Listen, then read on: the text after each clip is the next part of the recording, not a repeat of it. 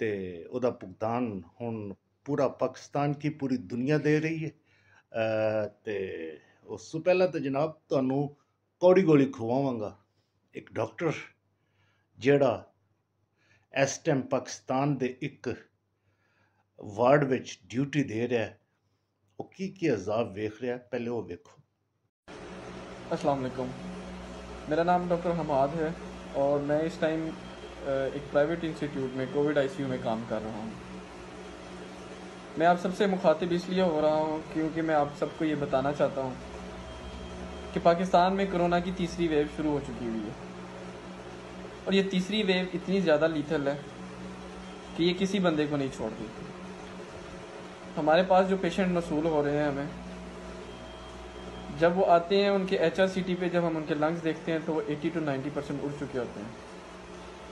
اب یہ وہ والی کہانی نہیں ہے کہ جب ہمیں پہلے سمٹمز آتے تھے، تین چار دن سمٹمز آئے، کف رہی اور کام خراب ہوا۔ ہمارے پاس پیشنٹ لینڈ کر رہے ہیں، ایک دو دن کے سمٹم کے ساتھ اور ڈائریکٹلی ان کے لنگ ٹوڑے ہوئے ہیں۔ ڈیتھ ریشو بہت زیادہ ہائی ہو چکی ہوئی ہے۔ اور پیشنٹ جس طرح ہمارے پاس لینڈ کر رہے ہیں، میں آپ کو بیان نہیں کر سکتا۔ اس ٹائم میں اتنا زیادہ دل برداشت ہوں۔ میرا پیشہ ایسا ہے کہ مجھے یہ ساری چیزیں فیس کرنی پڑ رہی ہیں۔ بہت ہمت اللہ نے دی ہے، لیکن ہمت جواب دے رہی ہے۔ As a front line warrior میں بہت مشکل سے یہ چیز برداشت کر رہا ہوں۔ جس طرح پیشنٹ کی ڈیتھ ہو رہی ہے، جس طرح پیشنٹ کی ایئر ہنگر میں دیکھتا ہوں۔ ڈبل آکسیجن پہ سی پائپ کے اوپر۔ ان سے آکسیجن سیچوریشن ان کی پوری نہیں ہو پاتی۔ میں آپ سب سے اپیل کرتا ہوں کہ اپنے پیاروں کو بچا لیں۔ اس وائرس سے بچائیں۔ یہ بہت تباہ کن وائرس ہے۔ یہ ہر کسی کو تباہ کر رہا ہے۔ خدا رہا خدا رہا ایس او پیز کو فالو کریں۔ بازاروں میں مت گھومیں، شادیوں پہ مت جائیں، جنازوں پہ مت جائیں۔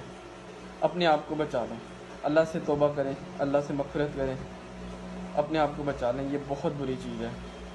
اس پہ ہمارا کوئی کنٹرول نہیں ہے، ہمارا کوئی کمال نہیں ہے، ہماری کوئی میڈیسن کام نہیں کر رہی۔ ہم صرف کوشش کر رہے ہیں اور وہ کوششیں ناکام جا رہی ہیں۔ خدا رہا خدا رہا اپنے آپ کو بچائیں، اپنے گھر والوں کو بچائیں، اپنے عزیز و قارب کو بچائیں، اپنے ہمسایوں کو بچائیں اور سب کو یہ تلقین کریں کہ اس چیز کو ہم لوگ اگر روک سکتے ہیں تو وہ یہی ہے کہ ہم پرہیز کریں۔ ایس او پیز کو فالو کریں ماسک پہنیں اور اللہ ہمیں اس آفت سے بچائے۔ میں بہت کچھ کہنا چاہتا تھا لیکن میرے پاس الفاظ موجود نہیں ہیں، میں کیا کہوں؟ خدا رہا बचा लें अपने आप को और हम सब के लिए दुआ करें फी मान अल्लाह ਹਾਂਜੀ ਹੁਣ ਦੱਸੋ ਕਰੋਨਾ ਹਕੀਕਤ ਹੈ ਜਾਂ ਝੂਠ ਹੈ ਉਹ ਮੇਰਾ ਜਿਹੜਾ ਚੈਨਲ ਫ੍ਰੀਜ਼ ਹੋਇਆ ਨਾ ਅਹ ਮੇਰਾ ਉਹ ਨਾਲ ਉਧਾਰ ਬਾਕੀ ਹੈ ਤੇ ਉਹ ਤਿਆਰ ਰਹਿਣ ਜ਼ਰਾ ਅਹ ਮੂਰਖ ਧੰਦਾ ਉਹ ਕੀ ਨਾ ਹੈ ਗੋਰਖ ਧੰਦਾ ਹੁਣ ਮੇਰੀ ਵਾਰੀ ਹੈ ਤੇ ਜ਼ਰਾ ਤਿਆਰ ਰਹਿਣ ਤੇ ਸਰਗੋਦੇ ਤੇ ਮਾਲਟੇ ਤੇ ਪੀਸੀਬੀ ਦਾ ਮੀਡੀਆ ਇਹ ਕੀ ਚੱਕਰ ਕੀ ਹੈ?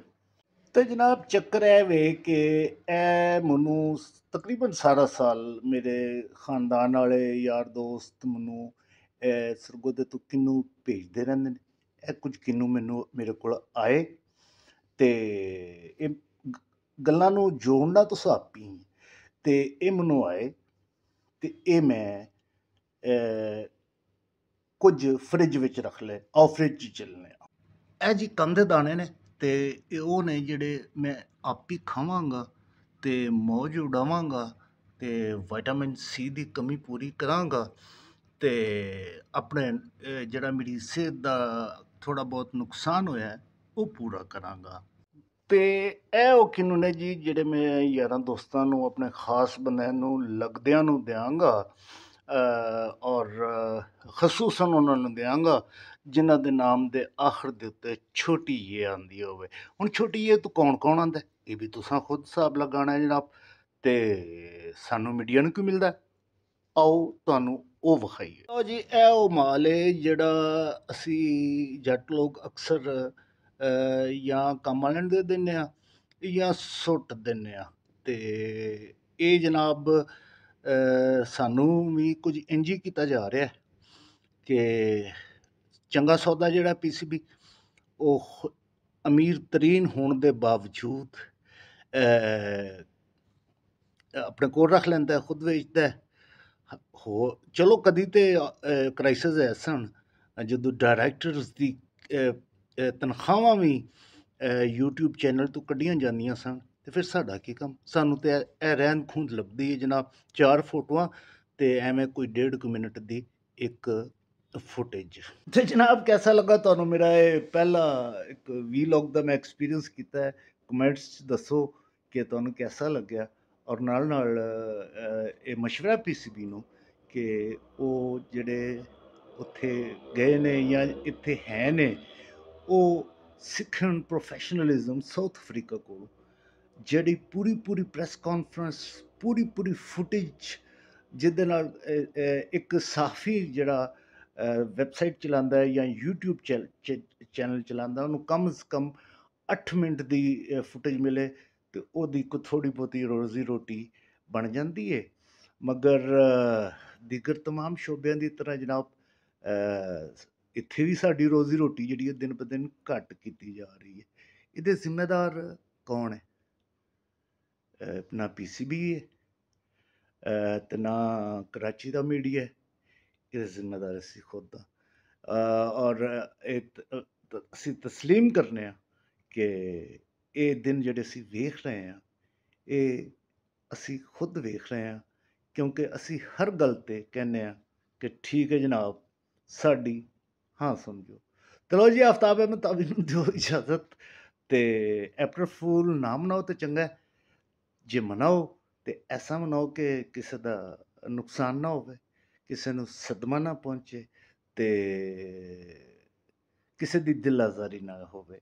ਤੇ ਗੱਲ ਉਹ ਕਰੋ ਜਿਹੜੀ ਕਿ ਦੂਸਰੇ ਨੂੰ ਹੱਸਣ ਤੇ ਮਜਬੂਰ ਕਰਦੇ, ਨਾ ਕਿ ਰੋਣ ਤੇ ਮਜਬੂਰ ਕਰਦੇ।